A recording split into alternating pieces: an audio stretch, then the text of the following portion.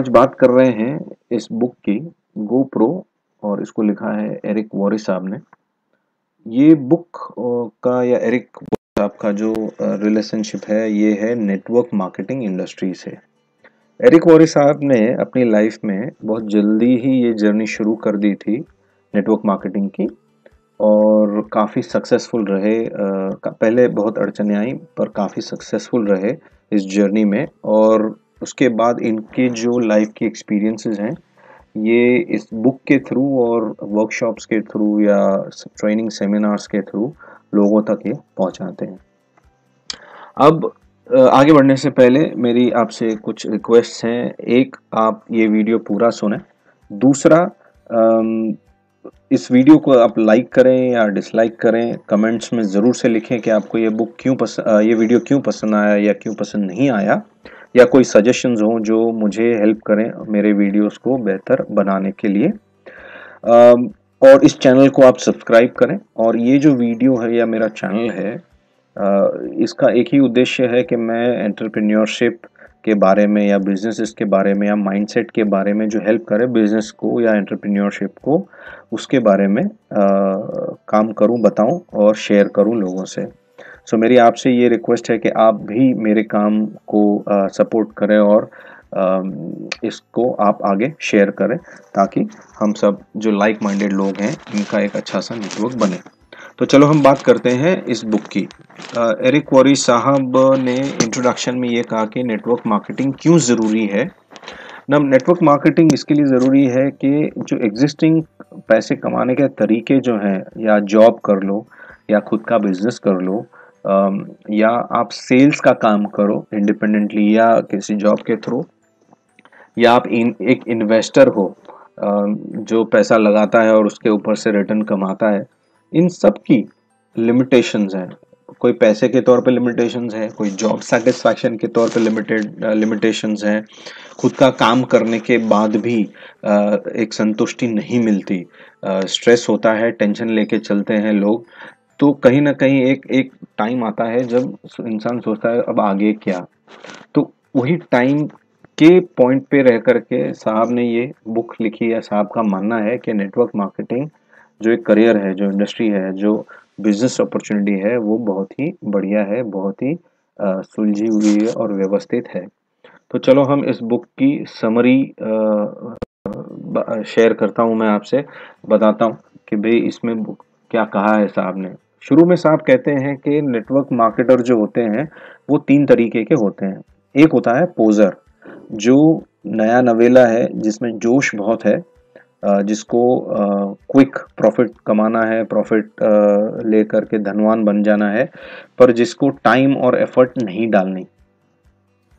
दूसरे जो next level का है, उसको कहते हैं एमेच्योर एमेच्योर के पास टैलेंट भी है, एक विल भी है कि मुझे करना है बट कमिटमेंट नहीं है।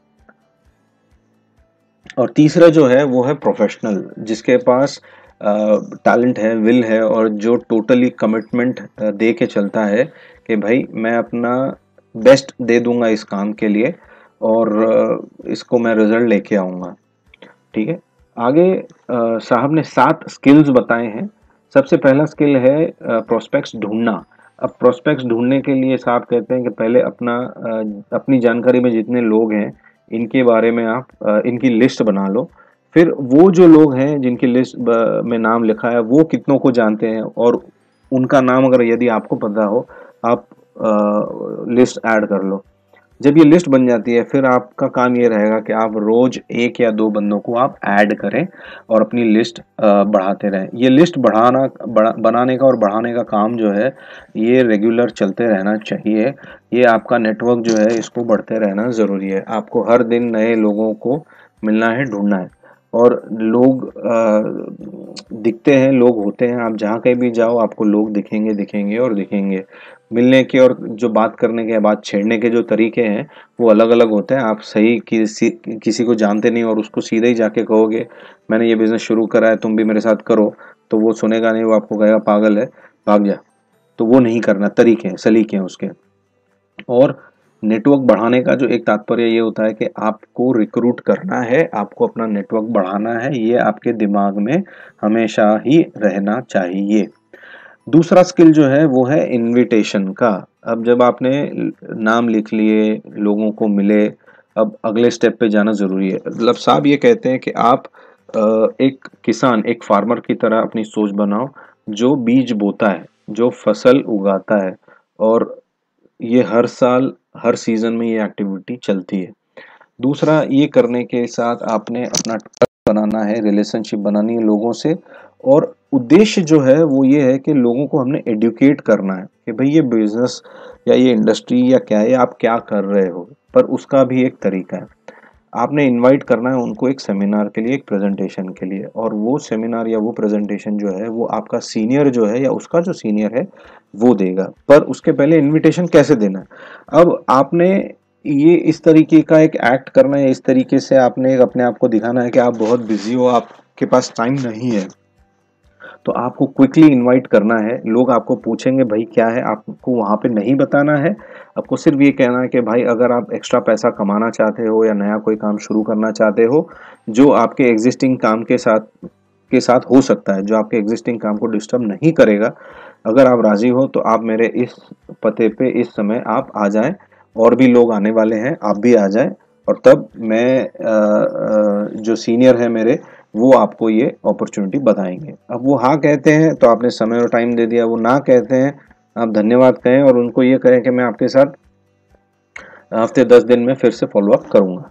और जैसे ही किसी ने हाँ कहा और ना कहा ना कहा, आपने वहाँ पे वो बात ख़त्म करनी है और आप आगे बढ़ोगे मूव ऑन करोगे नेक्स्ट पर्सन को इनवाइट करने के लिए। आपका काम ये होता है जब आप नए होते हो धंधे में, आपने प्रोस्पेक्टिंग करनी है और इनवाइट करना है। दैट्स इट और ये जो फॉर्मूला है, ये सारा फॉर्म प्रूवन फॉर्मूला है। इसमें कोई नया कुछ ढूँढने की या नया कुछ करने की कोई जगह नहीं है।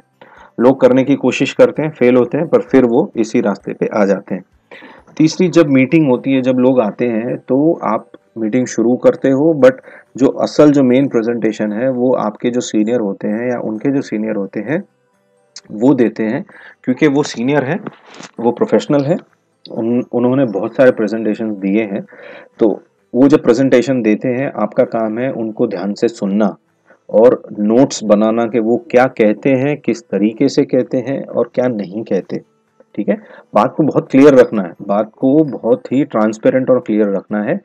अब जो प्रेजेंटर है जो सीनियर है वो ये खुद की स्टोरी बताएगा और खुद की स्टोरी में पहले वो क्या था क्या अच्छा नहीं लगता था क्या दर्द था लाइफ में और एक टाइम ऐसा आ गया था जब वो बहुत परेशान था। तब उसको आप ही के जैसे किसी ने इंट्रोड्यूस कराया इस अपॉर्चुनिटी को और इस अपॉर्चुनिटी को देखते ही इनको लगा या इन्होंने टाइम लिया कि भाई ये अपॉर्चुनिटी या कंपनी मेरे लिए है और तब से उन्होंने काम करना शुरू किया और वो जर्नी वहाँ से लेके अब तक आ, कैसी फ्रूटफुल रही इनके लिए इन्होंने क्या सीखा क्या लोगों से मिले क्या पैसा आना शुरू हुआ और इन कि लाइफ में क्या क्या फ़ायदे हुए अब सीन ये होता है कि ये प्रेजेंटेशन भी बहुत शॉर्ट एंड स्वीट होना चाहिए ताकि अगेन जैसे लोगों के पास टाइम नहीं है तो शॉर्ट एंड स्वीट होगा, लोगों को समझ आएगा कि अच्छा इन्होंने मुझे बुलाया शॉर्ट एंड स्वीट था, कोई लंबी लचक कहानी नहीं बता रहे। तो लोगों का विश्वास बनना शुरू होगा। अब जो इनवाइट किया, उसमें से मान लो 10 परसेंट बीस परसेंट हाँ कहते हैं। तो आपने जो हाँ कहते हैं, उनको पहले नेक्स्ट स्टेप की ओर ले जाना है और बाकी की जो है, उनको आपने थैंक यू कह करके अप्रिशिएट करके बाय करना है। अब जो हाँ कह रहे हैं, उनको आपने इंट्रोड्यूस किया, उनकी जो प्रोसेस है फॉर्मेलिटी वो पूरी करी और आप उनको एक कंफर्ट जोन थोड़ा सा देते हो। तीसरा इस पांचवा जो स्टेप है साइनिंग अप होने के बाद, आप उनको एक गेम प्लान होता है, जिसमें उनको आप पूछोगे, उनसे अंडरस्टैंडिंग लोगे वो क्या कमाना चाह रहे हैं, कितना कमाना चाह रहे हैं?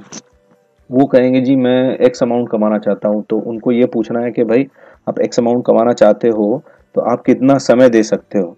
आपके रूटीन लाइफ में से कितना समय निकाल के इस काम के लिए कर सकते हो? वो कहेगा, जी, मैं एक घंटा दे सकता हूँ, हफ़्ते के पाँच घंटे दे सकता हूँ।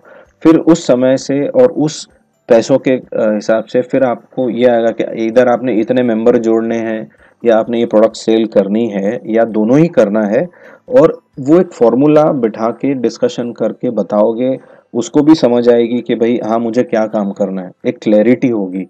अच्छा इस समय पे या पहले या बाद में आपको बड़े लड्डू नहीं दिखाने किसी को, क्योंकि अगर आपने बड़े लड्डू दिखाया, बड़े, बड़ा कोई जैसा बताया, और थोड़े ही समय में वो रियलिटी सामने आएगी कि ऐसा तो कुछ है नहीं तो वो बंदा टूट जाएगा, उस वो टूटेगा, वो चार और लोगों को कहेगा, सबसे ज़्यादा नुकसान आपका होगा।